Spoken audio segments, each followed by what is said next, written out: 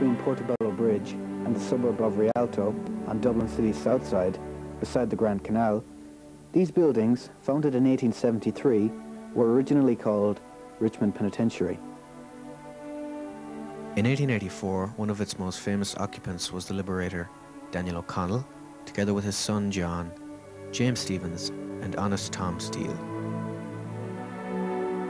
The police magistrate Francis T. Porter described their quarters as cleanly and spacious.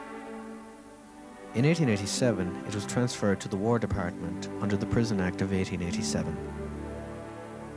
The initial cost of new military barrack blocks and offices was £40,000.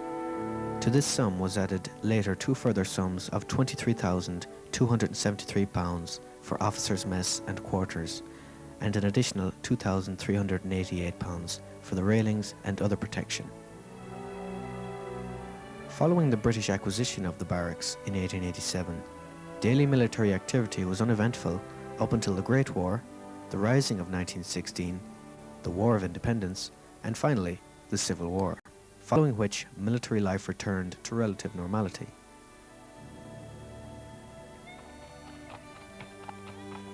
There was also, during British Army occupation of the barracks, a large cavalry, used mainly during the First World War.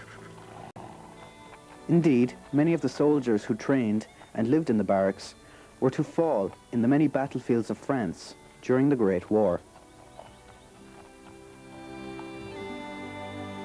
One of the most famous prisoners to be held in the barracks was Eamon de Valera, future Taoiseach and President of Ireland. Perhaps he formulated many of his political opinions while he was incarcerated here regarding the future independence of Ireland. Indeed, years later, De Valera would address the Irish troops who were stationed here.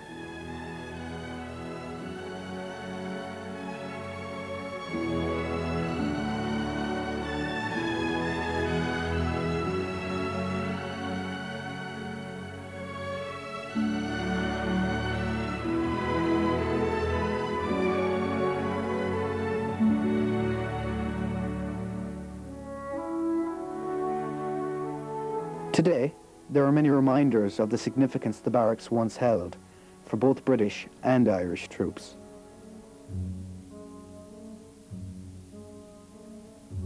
On this site, there once stood another barrack block, which was destroyed by fire in 1979.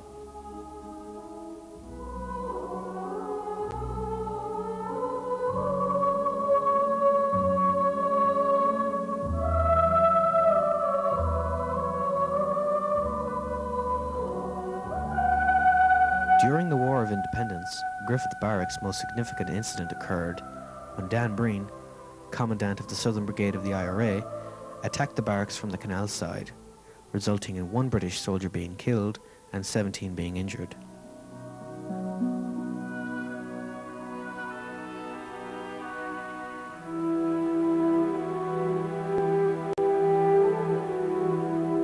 The British influence in the college ended at the end of the War of Independence, when the barracks were handed over to the soldiers of the Irish Free State under the command of Michael Collins and later to be renamed Griffith Barracks. For years, it was used by the Irish Army.